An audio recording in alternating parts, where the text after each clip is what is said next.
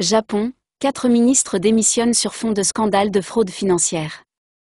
Selon la presse japonaise, des procureurs enquêtent sur des soupçons de fraude visant des dizaines de membres du Parti libéral-démocrate, PLD, droite conservatrice, dirigée par le Premier ministre Fumio Kishida. Quatre ministres japonais ont démissionné jeudi 14 décembre après que le Premier ministre Fumio Kishida a annoncé la veille vouloir faire face à un vaste scandale de fraude financière qui ébranle le parti au pouvoir. Le ministre de l'économie, du commerce et de l'industrie Yasutoshi Nishimura, le ministre des Affaires intérieures Junji Suzuki et le ministre de l'Agriculture Ichiro Miyashita ont aussi remis leur démission, ainsi que cinq vice-ministres et d'autres responsables, a-t-il précisé. J'ai présenté ma démission au Premier ministre, a déclaré jeudi matin le bras droit de Fumio Kishida, le secrétaire général et porte-parole du gouvernement Hirokazu Matsuno, en évoquant les soupçons dont il fait lui-même l'objet. La défiance de l'opinion publique se porte sur moi à propos des fonds politiques, ce qui entraîne une méfiance à l'égard du gouvernement. Comme une enquête est en cours, j'ai pensé que je devais mettre les choses au clair, avait déclaré plutôt Yasutoshi Nishimura devant des journalistes.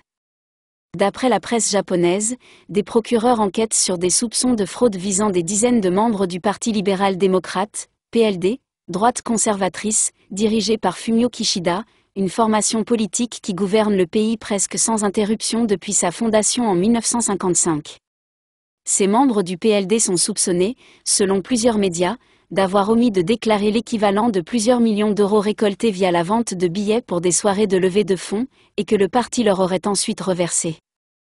Les enquêteurs s'intéresseraient en particulier aux membres de la plus importante faction interne du parti que dirigeait l'ancien Premier ministre Shinzo Abe, assassiné l'an dernier. Ces membres auraient reçu quelques 500 millions de yens, 3,2 millions d'euros, sur une période de 5 ans jusqu'en 2022.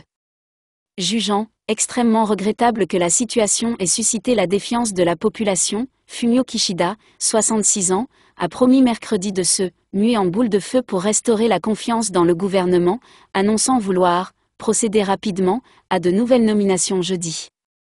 Le Premier ministre arrivé au pouvoir à l'automne 2021, déjà impopulaire avant la révélation progressive par les médias de ce nouveau scandale depuis plusieurs semaines, n'est plus soutenu que par 23% des électeurs selon un sondage publié lundi par la chaîne de télévision publique NHK.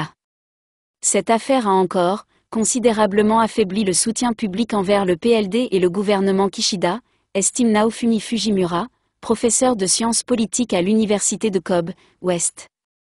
Les électeurs, expriment leur inquiétude face au scandale et au manque perçu de responsabilité des responsables politiques, ajoute-t-il.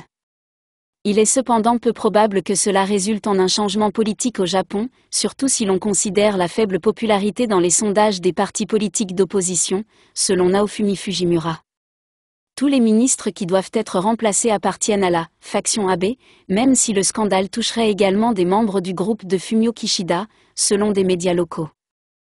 Avant même ce scandale, la cote de popularité de Kishida était déjà plombée par d'autres sujets de mécontentement des Japonais, dont l'inflation persistante et la baisse du yen qui fragilise le pouvoir d'achat des ménages, malgré son annonce le mois dernier d'un nouveau plan de relance budgétaire massif.